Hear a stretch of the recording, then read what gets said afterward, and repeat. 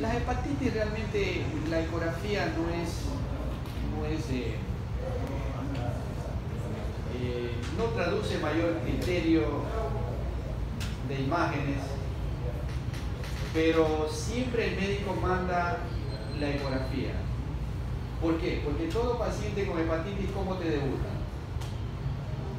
Con ictericia, ¿no es cierto? Con ictericia.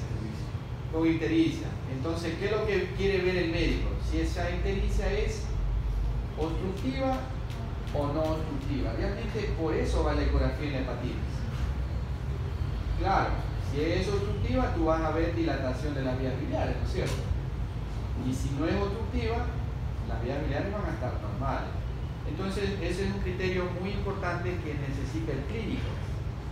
Porque de pronto el paciente tiene un cálculo biliar está pensando que para su mala suerte hizo una colangitis y te está haciendo fiebre, te está haciendo calofríos, tiene ictericia y tú estás pensando que es hepatitis. Y así, ha pasado, yo tantas veces he visto eso.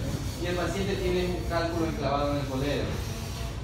Entonces, por ahí va la ecografía. Y ahí realmente como hallazgo, como hallazgo ecográfico no hay mucho, no hay mucho que ver. Aunque los libros ponen un poco de cosas ahí, inventos, pero, pero lo real es esto, ¿no?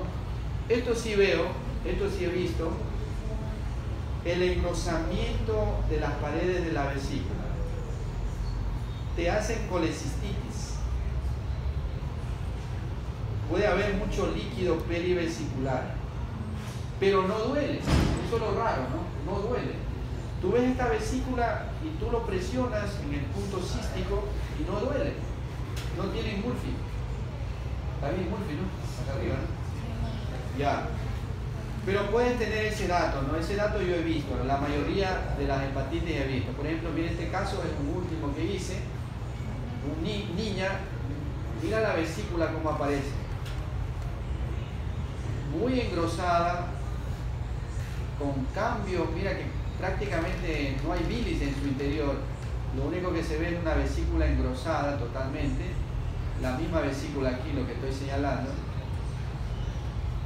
Entonces, más la clínica, la vía biliar no está dilatada, entonces yo digo probable proceso infeccioso viral. Lo llamo personalmente al médico, le digo, ¿saben qué? A mí me parece que lo que el, paciente tiene es una hepatitis, ¿no ha investigado? Sí, sí, ya voy a investigar. Mira este otro paciente, ¿no? Mira esta vesícula. Una pared muy engrosada. Esto he visto. No en todas las hepatitis, en algunas.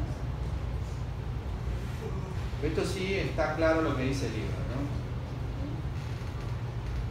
Ya. Bueno, hasta ahí lo vamos a